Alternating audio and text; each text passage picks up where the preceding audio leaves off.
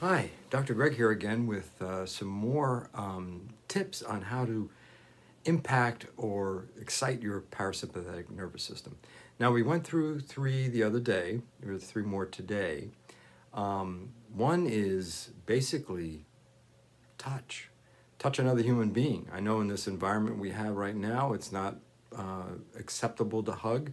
However, if you have a partner that you've been with, it's more than acceptable to hug them as much as possible in the day.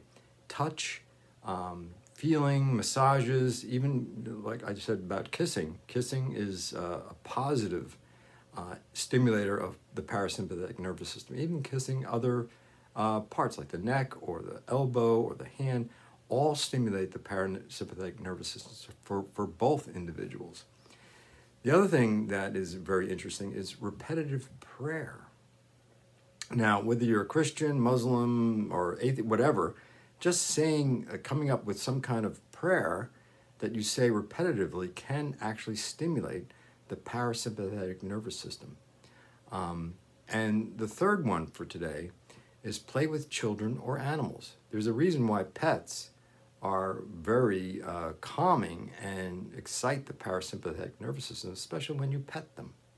Uh, uh, they like it. It's called pets, petting. Um, and uh, pets are very soothing and very stimulatory to the parasympathetic nervous system, as well as child play.